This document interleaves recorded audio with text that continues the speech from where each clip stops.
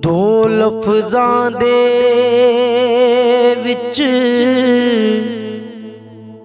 ਕਿਸੇ ਤਰ੍ਹਾਂ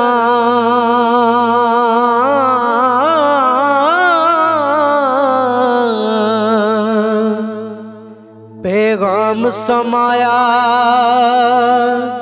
ਨਹੀਂ ਜਾਂਦਾ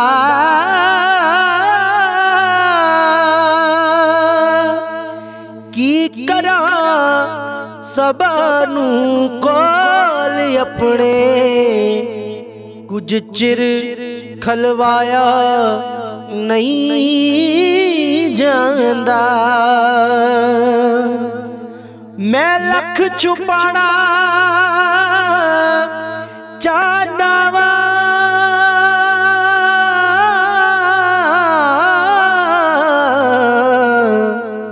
ਪਰ ਰਾਜ਼ ਛੁਪਾਇਆ ਨਹੀਂ ਜਾਂਦਾ।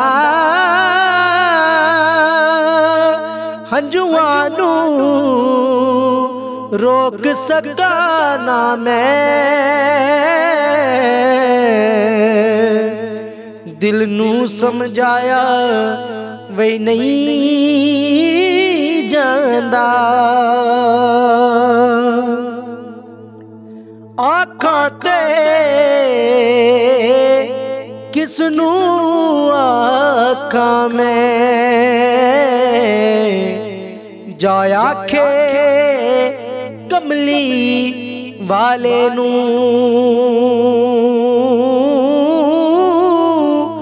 को अपने रोजा अतहरते?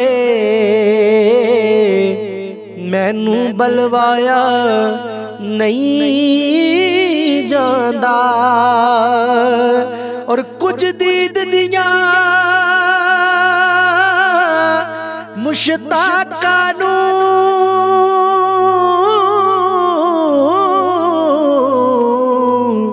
लोड़ा ने नवी हयात दिया। क्यों पल्ला बुरद यमानी दा? ਰੁਖ ਤੋਂ ਸਰਕਾਇਆ ਏ ਨਹੀਂ ਜਾਂਦਾ।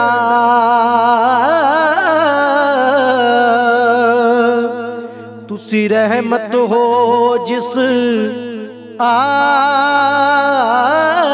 ਦੀ, ਮੈਂ ਉਸੇ ਦੇ ਵਿੱਚ ਰਹਿਣਾ ਵਾਂ।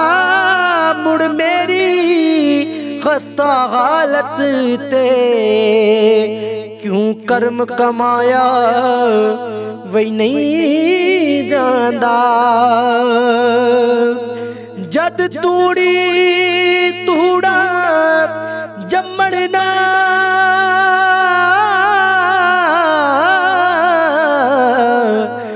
मेरे ते ओदी रादियाँ कोई जतन हजारा करे पया। चेहरा चमकाया बई नहीं जांदा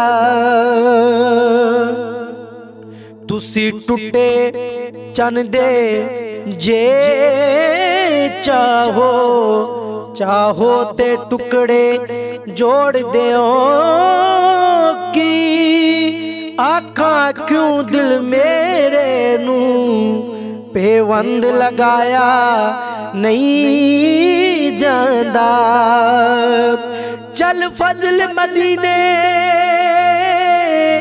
जान लई